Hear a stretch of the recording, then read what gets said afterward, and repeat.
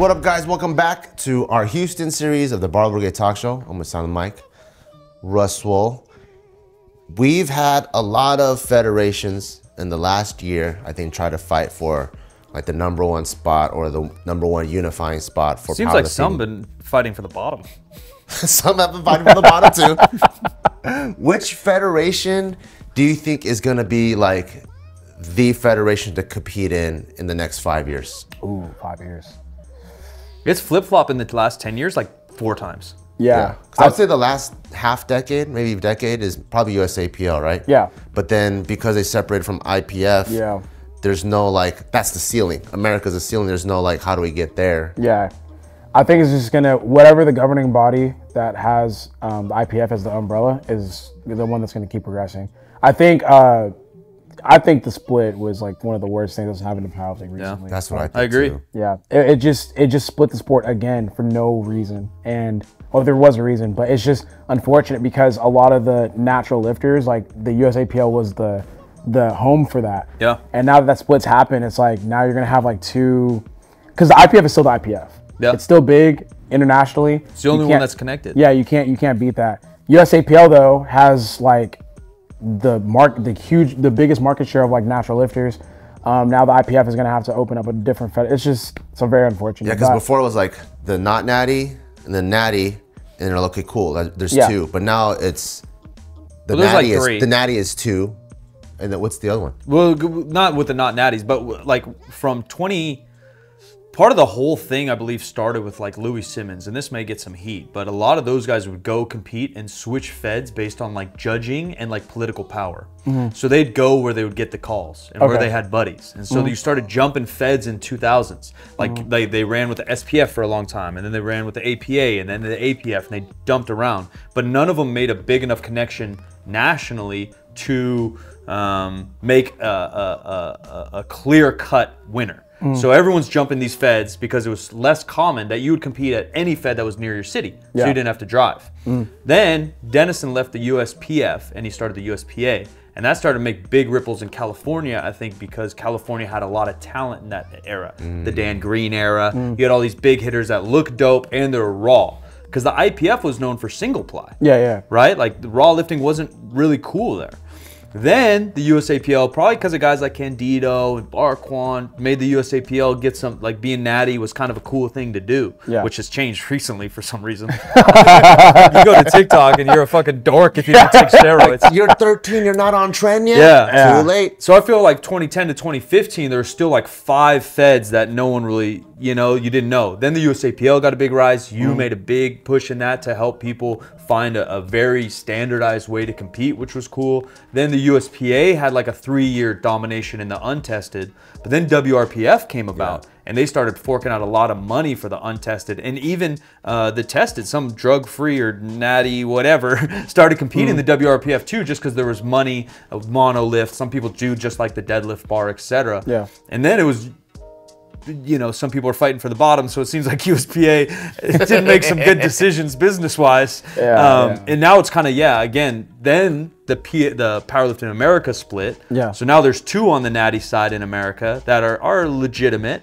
um, and probably the WRPF on the untested side. So I I agree that in a beautiful world we just have one and one. Mm. Right. All right. You want to take some PEDs? Yeah. Go compete over here. Oh, you want to stay in natural? Right. Let's go over here. Yeah. But I just don't know if it'll happen, man. I think Sheffield is uh, is another big play too. Yeah? I think Sheffield's going to shift the balance a lot in the next coming years. Um, I think the ripple effects of having that uh, is going to. Uh, I think it's it's going to affect the USAPL for sure. It's run under the IPF umbrella, yeah. right? So yeah, that's what I'm saying. Like Yeah. the Is that the has biggest stage of powerlifting so far? yeah. Besides the 100%. Kern, probably. Yeah, because I think um, I think when it comes to like where people are gonna go, like IPF has that structure where it's worldwide. Like I'm not gonna lie, for me, it means a lot if I'm able to say like I'm a world champion. Yeah. Yeah. So like yeah. I, I can't do that in the USAPL anymore, and like that's becoming more and more evident as I keep competing. Yeah. Whenever I finish up with nationals, I'm like, damn, I feel like I should be doing something you want one else. more yeah. I feel like there's like another prep that I should be getting ready for, and it's not there. What's the balance of skill uh, in the IPF? Let's say even pre-split um, from the world to the US. Are you talking about like Like the- how much does the US win? Let's say there's 10 gold medals. Oh, okay. How much does the US win in? Um, before it was up there, but now like, bro, you have like you have people like France. I would say like I think out of ten, maybe like five or six. Okay, so we're still fairly dominant, right? Because there's a lot of countries there. Yeah, but that that there's other countries that are getting strong. Like with the women's, that's like where they're starting to make some a lot of ground. Yeah. like a lot of different uh, uh, a lot of different countries are getting a lot more successful. The men's, it's pretty dominant with U.S., but Because even Olympic medals is kind of like that. Yeah. Like America dominates like Yeah. crazy. And That's what I was and asking. everyone kind of fights for the crumbs. Yeah. yeah, but it's uh, it's changing. I just I, like I said, I think the IPF, like the structure that it provides, and like the fact that it has like the World Championship, and then also um, Sheffield, like with the money.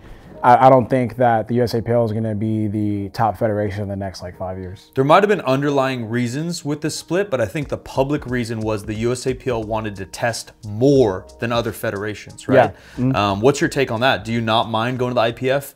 I guess even though their drug testing slightly less strict, Because they're not going with WADA. Is what was the? So none of them, I actually think, even use WADA technically. They go by WADA uh, standardizations, right? I might be incorrect there, but. I have no something clue. like that. I just but I just know when they come and test me. I just Yeah, let's keep it a little more basic. So, Yeah, yeah. so USAPL wanted to test more than Yeah. the IPF standard. I see. And the IPF basically kicked them out for that, which is crazy. Yeah, That's just a weird take. Like, oh, you want to be better than us? Get out. Yeah, yeah. It's Uh, like they're not finding compliance or Yeah. whatever. So. So is that okay with you? You don't mind going IPF, although maybe it's easier to get by? I don't really care. I mean, so like for me, like I just I think I'm the best anyway. So like I feel like if you're gonna pop, I think what IPF does is like they test at the highest of levels, and the USAPL just wants to test like everything. Yeah. Um, and I don't really have a problem with that. So Either way. yeah, it's whatever to me to be honest. Would you ever hop into the WRPF? No, Just don't care? no. Yeah, I, I just feel like the. I, I, I would have to like observe more, but it doesn't seem like big or anything like that. There's more money. No, I don't. I don't compete for money. All right. Yeah, like money. Money isn't a driver for me. I'll compete for money. nah, nah. Money has never been like a driver for me to compete. Like when I watched the Sheffield, I could give a, I, I could give two shits about the payout. Yeah. It was more so just like that. I think like visibly, That that's it. that's Yeah. what powerlifting should look like. Elevated competition. Yeah, like the stadium format, like the uh, the UFC like approach to like the um, like the event production. yeah event production, all that kind of stuff. I want to go to that. I could care less about like making like money competing. If that makes sense. Yeah, no, But it's a beautiful thing. I want people to make money competing. Yeah, you want it that's possible. Not, yeah, that's not the reason why I want to go over. So um, you're saying that you don't care if other people, like you go into Powerlifting America or IPF where the testing is more lax. You're saying you don't care if um, people can s- possibly sneak more PEDs in. You just have full confidence in your abilities. Yeah, i that's probably like an unpopular opinion, but yeah, I don't really care because I just feel like So you're not the type of person to go, okay, these are the rules. How can I maximize the rules? no, I'm not like that. No. The IPF then to you is cool because the standardization and professionality of the Fed. Yeah, exactly. Yeah. And the USAPL offers the same thing to a certain extent, but also it's tough because I'm seeing some things that they're doing that is just kind of like, damn, like why like why aren't we doing this? Or like I see the IPF and like its affiliates making uh, changes and actually like developing. And I was thinking that the USAPL would be the ones doing that. Yeah, because they got smaller. You Yeah, they'd they be got smaller. It's like okay, changes. yeah, exactly. Um, and like I said, there's a lot more to be seen. Um, who knows? Things might change.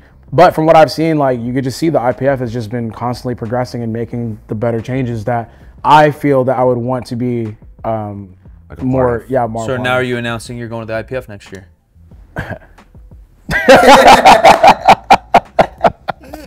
the. I mean, shit. We'll see, man. Yeah. No, I, think, we just saw. That Yeah, yeah. That's why he's been practicing Chinese. Yeah.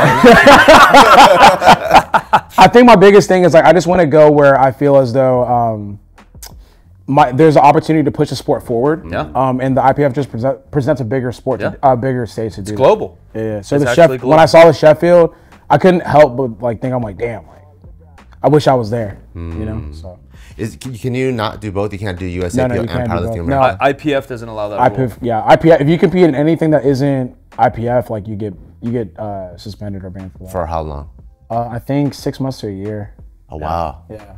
So it's like the if you want to be in the IPF, the last meet you do that's non-IPF has to be a year away or six months. something away. like that yeah there's like i think it, it depends on how like because i had to retire from the ipf like i had to like put in letters and like yeah yeah so i had to like put in an email saying that i officially retired just to make sure like the doors open for me to come back. Yeah, you don't get banned, And banned. yeah, and like limit like the amount of penalties that I have when I come back. Stuff like that does make it legit, but it also kind of makes it a headache. Yeah, it's it's but at the same time that structure Yeah. is Yeah. very very important. Yeah, it's it's it sucks, but like it's it's it, there's a purpose for it, Right. and I understand like okay, like if I do want to come back, like I did do the necessary things I needed to in order to come back properly. Yeah, dope. Yeah.